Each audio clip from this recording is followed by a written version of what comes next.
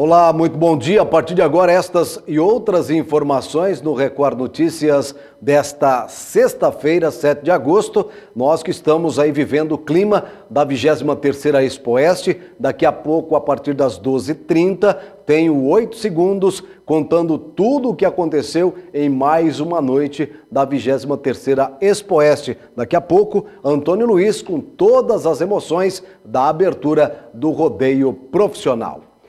Uma mulher que mora na cidade de Havaí está à procura do irmão. Segundo informação, reside aqui na região de Pontes Lacerda, bem como do município de Nova Lacerda. Ela esteve aqui na TV Record para pedir ajuda à população no sentido de localizar tanto o pai quanto o irmão. Celso Gracia, na manhã dessa sexta-feira, a Suzy Ferreira da Silva esteve procurando a nossa equipe de reportagem aqui na TV Guaporeí. Ela que está procurando o seu pai e também o seu irmão.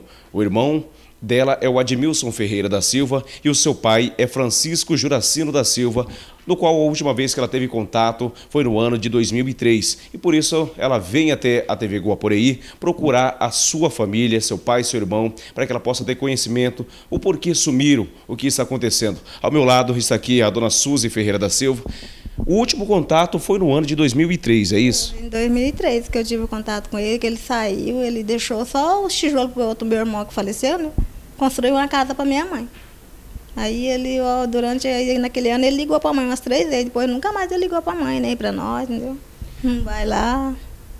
A senhora estava falando que tem mais de 10 anos que a senhora não tem contato. Durante esses 10 anos, a senhora procurou em algum lugar, tentou localizar eles? Não, nunca procurei. É a primeira vez que eu estou procurando ele, né? Que eu já, minha mãe tem dia que chora muito por causa dele. A senhora mora na cidade de Indiavaí, é isso? Moro ao lado, lá perto da minha mãe, dentro de Indiavaí mesmo, que eu tenho minha casa na Coab, entendeu? Que eu tenho minha casa e a minha mãe tem a casa dela, entendeu? Então eu queria saber por que, que ele afastou de nós, na é verdade. É tanto tempo, mais de 10 anos, a senhora veio procurar, ah, neste ano, procurar por eles, tem informações. Como que fica aquele sentimento de querer saber o que levou a senhora a procurar o pai e também o irmão? Ah, eu quero me saber porque meu pai também não dá notícia, ele sumiu nesse mundão, porque ele deixou eu desse jeito, entendeu? E sumiu, nunca mais voltou, na verdade, não dá notícia também, entendeu? E os irmãos dele moram dentro de Cuiabá ali, não tem coragem de procurar meu pai, entendeu? Fica todo mundo naquele desespero, querendo ter informações. Eles querem saber, eles querem que eu fale para eles, se eu descobrir onde ele está, né? Eles querem que eu vou falar. Falei, eu não vou, porque eles têm internet, eles têm as coisas, eles podiam procurar ele para mim. A, gente tem a informação de que ele, o irmão da senhora estava na, na, região de Nova Lacerda e o pai da senhora também na região de Peixoto de Azevedo. Como que a senhora teve essa informação? Quem que passou para a senhora? Esse local onde eles moravam? Esse local aqui foi um rapaz que mora aqui dentro de Lacerda, né, numa fazenda que eu estava ali ontem, entendeu? Que falou com meu irmão, tá? Que ele viu meu irmão nessas duas, eu estava vendo numa dessas duas fazendas entendeu? Qual o apelo que a senhora faz a esse exato momento? As, uh, os microfones estão ligados para que a senhora possa fazer o apelo para encontrar tanto o pai como o irmão da senhora. Quem souber onde que ele estiver, o meu irmão, Adnilson, ou meu pai, Francisco, entendeu? Que um dos, das pessoas ligue no número do telefone, que, é que eu vou deixar aqui para vocês passar para o pessoal, entendeu? Tá? Que eu já deixei meu número, o número da minha mãe e do meu filho, entendeu? Quem tiver contato que passe, não é verdade? Bom, nós temos aqui o telefone que a dona Suzy passou para a gente, é o 9992 2060 e também o telefone 9802 5992. A dona Suzy ela procurou a equipe da TV Guaporeí para que nós pudéssemos entrar em contato com alguém da família, trazer informações, porque ela há mais de 10 anos não encontra nenhum deles. E a senhora, nós podemos notar que a senhora está de cadeira de roda e precisa, lógico, do apoio da família, para poder estar do lado, para poder enfrentar diversas situações. Ah, porque eu, até minha filha saiu dentro de casa, já está com duas semanas, entendeu? Ela é de menor, e foi cuidar mais duas de menor. Aí já fiquei sabendo que o rapaz que estava morando com ela já começou a bater nela, então ó, fica mais difícil. Aquele, momento, aquele sentimento de revolta em tentar resolver toda essa situação. E demais, ó. Porque eu sozinha não consigo, não. Que eu tenho outro irmão que mora em Jevaí, só que nós dois não se dá bem. Que é direto ele batendo na minha cara, né, por causa do meu dinheiro, então eu queria que meu irmão aparecesse para mim ir embora com ele. É aquele momento de procurar tentar resolver toda essa situação e viver aquela comunhão como família. É isso que eu queria, né? Que o outro meu irmão que ele deixou lá, o Adair, o Adair já faleceu, já tem cinco anos, entendeu? Eu acho que o Adnilson nem sabe que o Adair faleceu, já tem cinco anos que o Adair faleceu. Bom, nós temos aqui, a dona Souza trouxe pra gente a fotografia do irmão dela. Nós vamos mostrar aqui para que as pessoas possam ter conhecimento de quem possa ser ele. Você que viu essa pessoa é o Admilson Ferreira da Silva. Ele é irmão da dona Suzy. Até então, as informações que ela teve sobre ele é que ele estava na região de Nova Lacerda. Caso você tenha alguma informação, você pode entrar em contato com a TV Guaporeí para que possamos, assim, resolver essa situação no qual a dona Suzy está aqui. Ela se emociona bastante em falar a respeito da família são mais de 10 anos que ela não tem contato nem com o pai e nem com o irmão. Por isso nós pedimos aí o apelo da comunidade de Pontes Lacerda. Caso você conheça essa pessoa que você viu nas imagens, o senhor Admilson Ferreira da Silva, o pai dela, Francisco Juracino da Silva, ele tem 67 anos. Caso você tenha alguma informação, você entre em contato com a TV Guaporei. O intervalo e a seguir você acompanha no Record Notícias. Duas pessoas foram presas pela Polícia Judiciária Civil. A ação da polícia no sentido de evitar que um veículo fosse levado para a Bolívia. Você confere até já. Você acompanha agora o trabalho da Polícia Judiciária Civil, que, numa ação rápida e de inteligência, evitou que mais um caminhão fosse roubado aqui na região. O caminhão é este Mercedes-Benz, uma LS 1938 com placas de Tangará da Serra. Os bandidos agiram da seguinte forma: ligaram para o motorista que estava na cidade de Tangará pedindo um frete. O motorista deveria vir a Ponte Lacerda carregado em um trator e levar até Campo Novo dos Parecis. Um deles chegou a entrar dentro da gabina do caminhão e indicar aonde seria o local, a fazenda onde seria carregado este trator. Os outros bandidos estavam esperando logo à frente para efetivar o assalto, mas a ação de inteligência por parte da Polícia Judiciária Civil conseguiu interceptar toda a ação dos bandidos. Eles foram flagrados e três deles foram presos, dois maiores de idade e um menor. A Polícia Judiciária Civil conseguiu evitar que o roubo fosse concretizado. Este é o Cássio Henrique. Cássio, qual era a sua participação ali no assalto do caminhão? Eu acho um pouco. Eu só ia enquadrar só o caminhoneiro, só segurar ele. Foi você que simulou a contratação do frete? Não. Quem foi? Tem uma outra pessoa envolvida então? Não sei, eu só fiz o papel do filho Teve fazendo... outros veículos da caça envolvidos Não, também? Só uma moto. Outros veículos vocês roubaram também? Não. Você ligava da onde? Da onde era o contato? Como vocês conseguiram o contato desse caminhoneiro? Não, não sei não. Alguém sabe é o outro menino. Esse outro rapaz que está aqui ao lado é o Sérgio Conceição. Você seria o motorista do caminhão, Sérgio? Nada a declarar. Vocês levariam o caminhão para onde? O motorista, o que, é que vocês iam fazer com ele? É a primeira vez que vocês agem dessa forma? É o primeiro caminhão roubado aqui na região? Ia para Bolívia o veículo, Sérgio?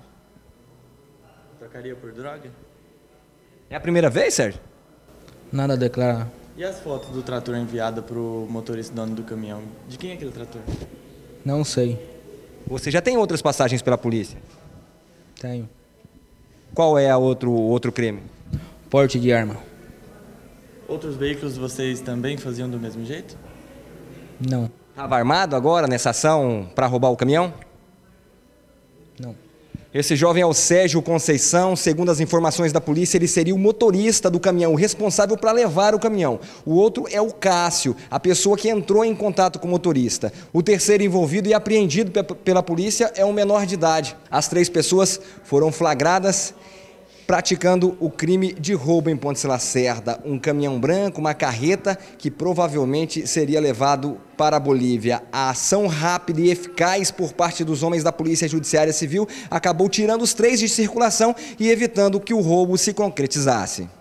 Doutor Felipe, como foi toda essa ação que resultou na, na prisão dos três e também na recuperação, melhor, evitando que o roubo se concretizasse, né? Sim é, já vinham sendo monitorados há algum tempo, trabalho de investigação da Polícia Judiciária Civil é, efetiva em relação a esses roubos que vêm acontecendo na cidade. a equipe de policiais é, se antecipou à ação dos, né, dos, dos, criminosos e a gente conseguiu efetuar o, a prisão de um deles e ficou campanando e prendemos todos, a, todos, a, todos, todos os outros da quadrilha. Tem alguma informação se essa quadrilha já agiu aqui na região? Já tem algum outro roubo que é acreditado a eles? Sim, certamente é, há fortes indícios de que eles vêm atuando já há algum tempo aqui na região. Outros nomes estão sendo levantados também como coautores desse crime de roubo e também no momento oportuno serão, serão presos. Eles estavam armados, doutor? Sim, sim, eles utilizaram de arma de fogo, um revólver para para intimidar, na verdade, a vítima né, e, e conseguir lograr o êxito do roubo. Doutor Gilson, agora a gente percebe também que eles são bem articulados, né? Tinham todo um esquema já preparado. Sim, os últimos roubos ocorridos nessa modalidade foram exatamente iguais, combinando frete com o motorista. É, é, um só entra no veículo, aborda e leva o veículo, o caminhão para um determinado local. Ou seja, a gente já sabia antecipadamente como seria o modo de operação. Por isso que a gente já se antecipou na certeza que ia dar certo a nossa investida. As investigações continuam para saber se eles estão envolvidos em outros casos? Sim, na verdade, a gente sabe que sim. Agora a gente só vai interligar isso daí, entendeu? A gente sabe sim que eles estão envolvidos em outros, a gente vai agora é, é, em busca do, das outras ocorrências, mas não tem a menor dúvida que outros roubos, até mesmo pela semelhança, foram praticados por ele. A seguir, você acompanha como foi a visita do governador a Pontes Lacerda na véspera do dia do aniversário e ainda uma entrevista com o deputado Van Cleef. Play. Até já. Semana que antecede o Dia dos Pais, próximo domingo, e nesta semana a Ótica Visual está com uma grande promoção, óculos Ray-Ban com 30% de desconto à vista para você que vai presentear o papai ou vai aí se divertir e obviamente na moda Ótica Visual que está aí com a grande promoção 20 anos, um televisor ainda nesse mês de agosto e no fechamento da promoção uma moto zero quilômetro. Nós estamos recebendo aqui em nossos estúdios o deputado Van Clay Carvalho, ele que integrou a comitiva do governador na última quinta-feira, fazendo uma visita a Pontes Lacerda. Antes de falar desta visita, boa tarde, deputado, seja bem-vindo ao Record Notícias. Boa tarde, Celso, boa tarde a todos que nos acompanham é, pelo jornal. Um prazer estar aqui novamente, trazendo novidades à sociedade aqui de Pontes Lacerda. Agora sim, vamos acompanhar como foi a visita do governador e a gente fecha esse bloco com uma avaliação da visita, Estrada do Matão, saúde e segurança pública. Vamos às reportagens, às informações da reportagem de Jean Kennedy. Na véspera do aniversário de Pontes Lacerda, o município esteve recebendo uma importante visita. O governador do estado de Mato Grosso, Pedro Tax, esteve no município para conhecer de perto as necessidades que a população vem enfrentando. Pedro Tax chegou em Pontes Lacerda e foi recebido por autoridades políticas e militares de Pontes Lacerda. O primeiro lugar que o governador esteve visitando foi a Escola 14 de Fevereiro, onde esteve conversando com os alunos, prometendo reformas na escola e climatização das salas de aula.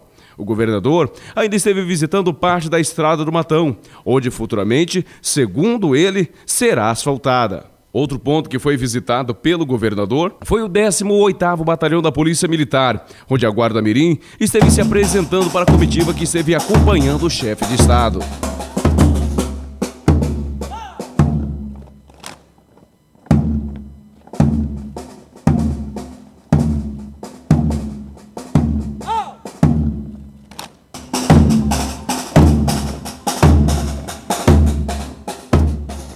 Por volta das 22 horas, Pedro Tax esteve concedendo uma coletiva à imprensa no Parque de Exposições de Pontes Lacerda, onde ele destacou novos projetos para a cidade de Pontes Lacerda, além dos municípios da região. Nós viemos aqui para mostrar a força do setor produtivo do nosso estado. A região oeste do nosso estado é muito importante para a pecuária, muito importante para Mato Grosso. E eventos como este mostram né, que Mato Grosso está no caminho certo. Agora, é lógico que o estado de Mato Grosso precisa ajudar e fazer mais. Por isso, nós estamos aqui para falar um pouco sobre a famosa Estrada do Matão, que vai ali 5 quilômetros até o pé de galinha e depois 26 quilômetros até o Rio Alegria. Quando que vai começar Olha, o asfaltamento? Quando é uma coisa muito difícil de falar, quando, né? Esse ano aqui, eu já disse ao prefeito, nós vamos tentar dar início ao menos aos 5 quilômetros. Mas eu não faço aqui promessas que nós não possamos cumprir. Nós estamos conversando com o prefeito, com o Van Clay, o deputado Van Clay tem sido um líder desta região lá na Assembleia Legislativa e nós vamos conversar para ver de que maneira possamos ajudar. Além disso, o hospital também é importante para esta microrregião. Qual o presente que o governo traz para o município? O presente é que nós já estamos superando a fase a do passado, a fase da roubalheira, a fase do rouba e nunca faz. Nós estamos trabalhando firme para que Mato Grosso tenha uma administração decente com responsabilidade. É isso que o cidadão quer. Agradeço aos votos que tivemos aqui em Pontes Lacerda e região. É, fomos vitoriosos em todos os municípios da região oeste, graças aos companheiros, ao cidadão que entendeu o nosso discurso. Agora, eu fui eleito junto com o Carlos Fávaro para quatro anos. Em seis, seis meses e meio não dá para resolver tudo. Governador, o senhor visitou alguns lugares, principalmente Escola 14 de Fevereiro e Comando Regional. Como é que o senhor viu isso?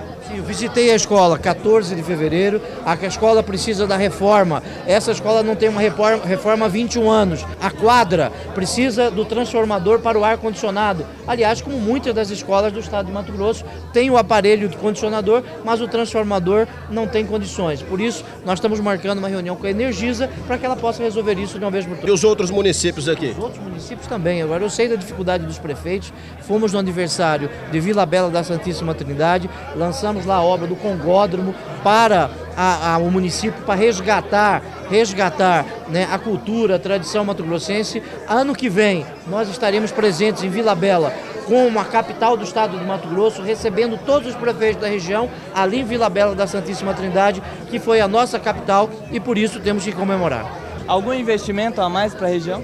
Nós já repassamos, atrasados da administração passada, quase 100 milhões de reais. A administração passada deixou atrasado quase 100 milhões de reais. Nós já repassamos isso aos municípios, estamos em dia com o nosso repasse, apresentamos o projeto de lei à Assembleia Legislativa, que iniciaram os trabalhos hoje para que os municípios possam receber 50% a mais da atenção básica, da atenção primária e a, o secretário de Saúde, Marco Bertulli, já conversou aqui para que um polo de Pontes Lacerda seja uma microrregião que possa atender os municípios aqui deste importante apolo do estado de Mato Grosso. Ainda falando a respeito de saúde, governador, como que fica a situação da Santa Casa? O senhor já tem conhecimento de como ela está? Sim. O secretário Marco Bertulli já fez uma reunião aqui, teve uma audiência pública a pedido do deputado Van Clay e nós estamos ah, fazendo o repasse necessário. Agora, algumas prestações de contas precisam ser feitas, mas é importante que aqui em Pontes Lacerda o Estado possa ajudar a que os municípios possam ter o atendimento aqui. Para falar da visita do governador, do momento político que o Estado passa, obviamente Pontes Lacerda aí na, ontem, aniversário, na véspera, a visita do governador. É claro que a administração municipal, o próprio deputado Van Clay, gostaria que o, deputado, o governador estivesse aqui logo pela manhã para fazer as ações.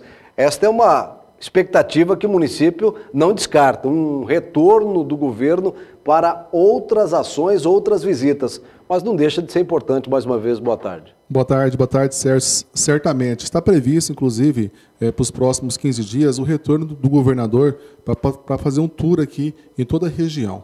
Mas, enfim, né, a gente sabe que é início de governo e a gente sabe que eu, enquanto deputado, é, fui eleito pela população para poder representar essa região e estamos fazendo isso, estamos trabalhando muito. Né? Mesmo sendo no início agora, Celso, a gente está muito feliz é, porque é, nós, o, nós conseguimos, juntamente com o governador, a garantia né, do início da pavimentação da Estrada do Matão. Né? Um sonho antigo né, que nós temos aqui. E isso vai ser muito importante aqui para o nosso município. Por quê?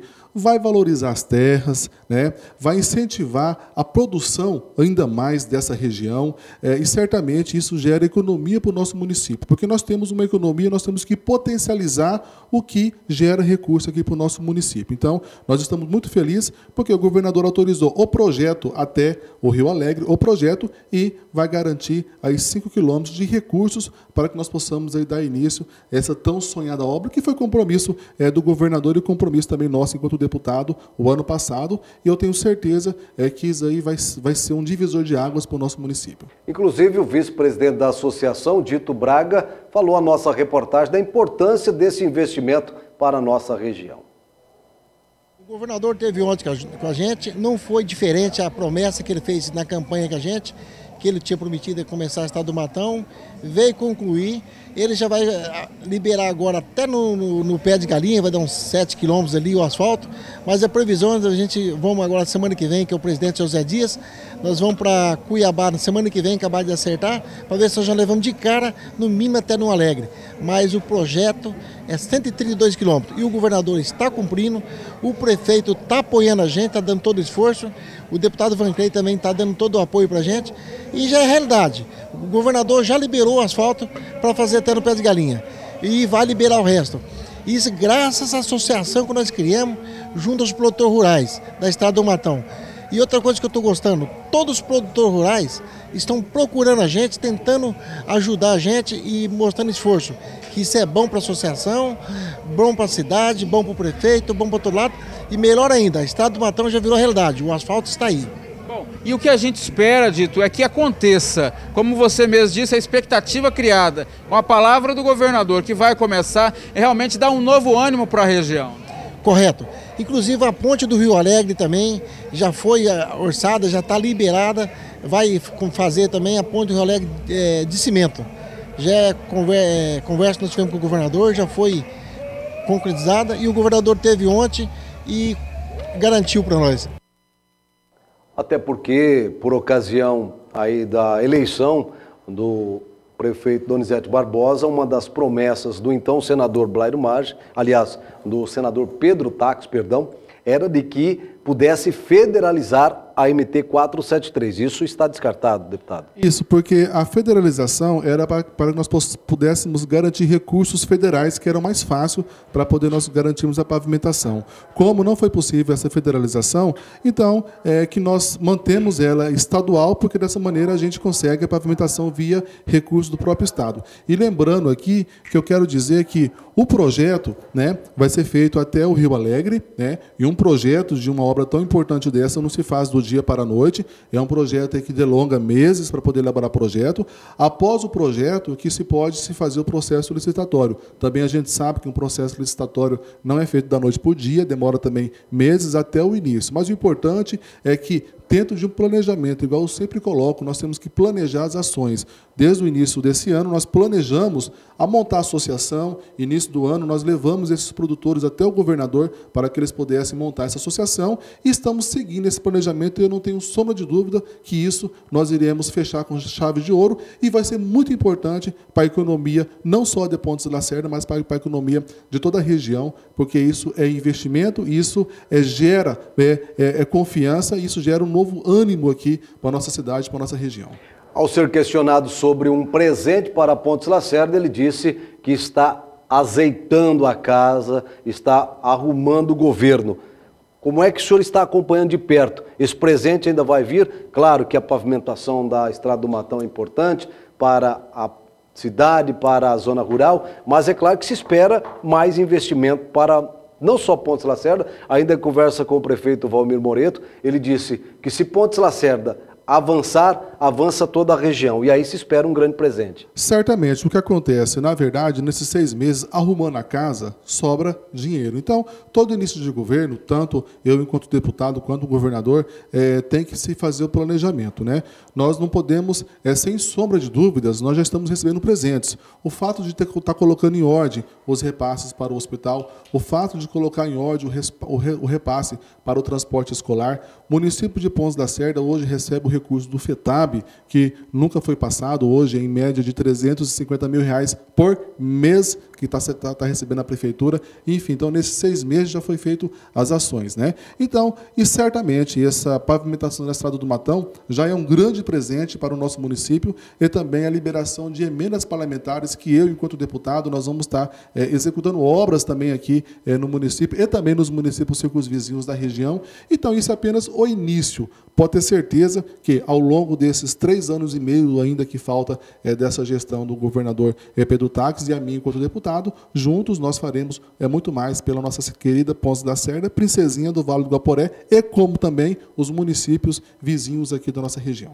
É claro que a gente lamenta que o governo não queria repassar esse dinheiro do FETAB, hein, deputado? Na verdade, acabou uma questão judicial e resolveu isso aí e agora se tem uma perspectiva diferente. É, certamente, né? porque é, até aquele momento ele não tinha a, a visão da importância da, do repasse desse dinheiro do FETAP. Hoje, o que acontece?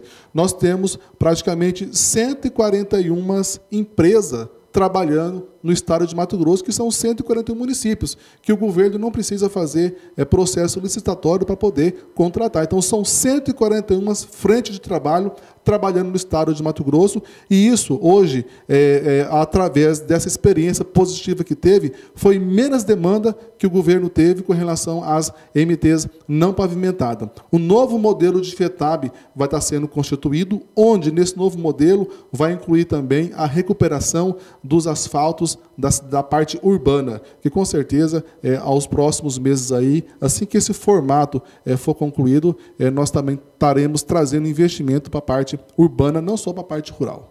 Queremos agradecer a presença do deputado. É claro que temos muitos assuntos para tratar, mas nesse momento o foco é a Estrada do Matão, até porque se criou uma expectativa já no começo deste ano. Deixar o espaço aí para as suas considerações. Pontes Lacerda, que completou mais um aniversário, as suas considerações, bem como uma mensagem. É, eu só quero aqui é, agradecer o espaço aqui na TV Record, que é, faz uma cobertura muito grande dentro do setor produtivo rural é, do nosso município, da nossa região. Então, a gente, a gente sabe da importância que é esse investimento na zona rural, que valoriza as propriedades e que incentiva o homem do campo a estar tá produzindo cada vez mais. Então, eu quero aqui é, mandar um abraço, desejar é, parabéns a Pons Lacerda, que foi ontem, foi aniversário, e também um Dia dos Pais, domingo próximo, e parabéns a todos os pais. Queremos agradecer a presença do deputado e, em outra ocasião, outros assuntos ainda iremos tratar com o parlamentar. Ainda por ocasião da entrevista coletiva, o governador Pedro Tax falou que vai deixar de fato o PDT. Ele deve assinar ainda neste mês a desfiliação da legenda partido. Todos sabem que há muito tempo eu estou desgostoso no PDT. Já há esta semana protocolo a minha desfiliação do PDT e vamos procurar novos caminhos, porque a liberdade é um direito do cidadão. Registrado mais um crime ambiental aqui em Pontes Lacerda. O homem foi preso portando uma arma de fogo. Tarde de quinta-feira, nós estamos aqui no CISC para poder falar a respeito de um trabalho realizado entre a Secretaria de Meio Ambiente juntamente com a Polícia Ambiental. Do meu lado está o Sargento Leal da Polícia Ambiental. Trabalho hoje, durante esse feriado, acabou detendo uma pessoa com uma arma. Positivo. A Polícia Ambiental de Cáceres está trabalhando na operação Operação Brasil Integração, em conjunto com a Secretaria do Meio Ambiente de Ponte Lacerda, em, através do responsável, senhor João Martins. E estamos trabalhando no sentido do, de orientar as embarcações, né? E devido a muita solicitação de denúncia de caça, viemos até a Lacerda trabalhar em conjunto com o senhor João. Hoje vocês acabaram é, apreendendo uma espingarda que estava sob o poder de uma pessoa. Positivo. A, na abordagem da embarcação o, conduzida pelo senhor João, foi constatado que o mesmo transportava com ele uma espingarda calibre 22. Possivelmente era para ser utilizada na prática da caça. Né? Mas foi encontrado com ele algum tipo de pescado ilegal ou caça? Negativo. Foi só o armamento e pescado ele não tinha e a embarcação estava toda documentada, até mesmo ele estava, estava com documentação legal na embarcação. Agora vale lembrar as pessoas que vão dar a volta pelo rio, pessoas que vão pescar, que tem que ser tudo dentro da lei para que não possa acabar sendo enquadrado no crime ambiental. Positivo. Além do crime ambiental, a gente ressalta que o pessoal tem que usar o colete, né, salva-vida, e a todas as embarcações que nós é, vistoriamos não estava portando colete e que e a pesca mesmo, né? Que a gente orienta que pesca consciente para evitar esse tipo de constrangimento no futuro. Aí. Esse trabalho ainda continua em parceria aqui em Pontes Lacerda? Positivo. Ela vai até segunda-feira e na região de Pontes Lacerda e Vila Bela o pessoal estará presente. Vale ressaltar que além dessa data, o trabalho continua de investigação. Positivo. A Polícia Ambiental vai estar aqui no, na região trabalhando esse período e pedimos a colaboração que esse pessoal que pratica a pesca, né, que pesca legal, pesca documentado e utiliza o seu salva-vida, que esse é um material de segurança do, deles mesmos. Né? Na sequência, vem aí o 8 segundos, contando tudo o que aconteceu na sexta noite da 23ª Expo Oeste, inclusive como foi a abertura do rodeio profissional. Antônio Luiz, boa tarde a todos de casa, um bom final de semana.